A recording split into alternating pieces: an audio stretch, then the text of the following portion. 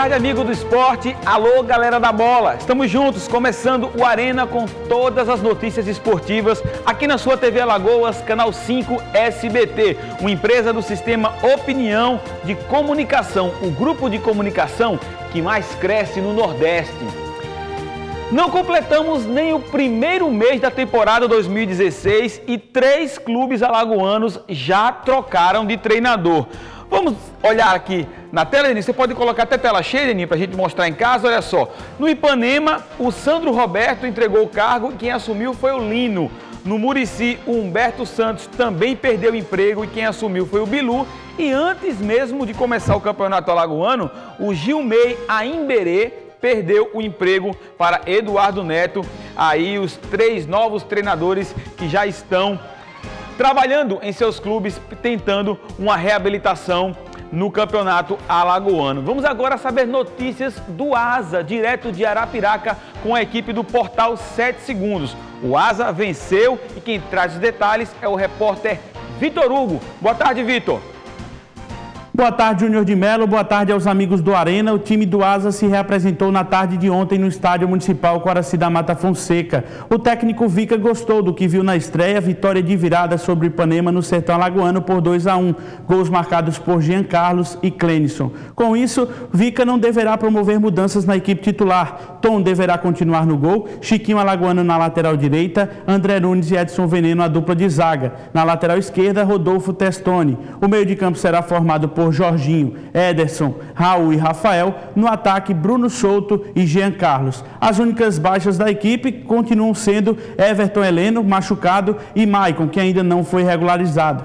A diretoria alvinegra aproveitou o momento positivo e já divulgou os valores dos ingressos para o clássico contra o CRB. As arquibancadas baixas custarão 20 reais, enquanto que a arquibancada alta 30 reais. Para a torcida do CRB, o ingresso custará 20 reais. Idosos, estudantes, mulheres, pessoas com deficiência e crianças pagarão aí meia entrada no estádio. A Polícia Militar vai garantir a segurança. O torcedor regatiano pode ir sem medo, que com certeza a segurança estará garantida lá no Estádio Municipal Coraci da Mata Fonseca. O Asa que anunciou no final de semana a contratação do meio-campista Djalma, vindo do Paysandu, trabalhou com o técnico Vica. Essas foram as notícias do Asa. Mais notícias vocês podem acompanhar no 7segundos.com.br. É com você, Júnior de Melo. Obrigado, Vitor. E no portal 7 Segundos você encontra todas as informações do gigante alvinegro. Clima de alegria volta aos trabalhos no CRB. O time já está ajustando os últimos detalhes para o primeiro clássico do Campeonato Alagoano. Se liga no Arena. A impressão deixada na estreia foi a melhor possível. Nem o mais otimista dos regatianos imaginava a partida de encher os olhos que o CRB fez na estreia diante do Murici. Mas a euforia da goleada já passou e o técnico Mazola Júnior terá um clássico pela frente nesta quarta-feira. A gente está tá formando um grupo, um grupo de qualidade, a gente tem, tem certeza nisso.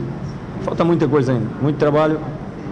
Precisamos trabalhar muito, fazer os jogadores, principalmente os que chegaram, entender como a gente gosta que o time jogue. Não é fácil. Isso vai custar um pouco de tempo. Ganhamos, ficamos felizes. Agora os pés no chão, porque começa a semana, começa a semana para nós de novo, pensamento no asa e buscar a vitória. A rivalidade é grande. CRB e Asa travaram nos últimos anos grandes decisões e a expectativa para o jogo da segunda rodada é imensa. Penso que até pela, pela experiência que o Vica tem no Campeonato Alagoano, pela equipe que formou, sabemos que lá dentro é complicado, mas o CRB vai fazer um a gente vai em busca de um, de um grande jogo lá também. Precisamos é, fazer um jogo melhor, é, principalmente no aspecto tático. Todos querem jogar. Marcelinho fez dois gols na estreia e espera estar entre os 11 escolhidos de Mazola. Sim, é um bom que é para deixar dúvida na cabeça do professor, né? É, foi o que nem eu falei para vocês, eu venho trabalhando, não quero ser melhor que ninguém, mas vou procurar procurar meu espaço. Volto a dizer, Deus, Deus foi maravilhoso comigo, me abençoou, tive, tive a paciência de esperar, não, não murmurei nem nada. E graças a Deus, Deus me abençoou e fiz dois gols. Mesmo com o placar elástico, o grupo regatiano entende que o Campeonato Alagoano 2016 deve ser marcado pelo equilíbrio e que os adversários ainda vão melhorar bastante. Eu tenho certeza que vai ser um campeonato bastante disputado até a última rodada.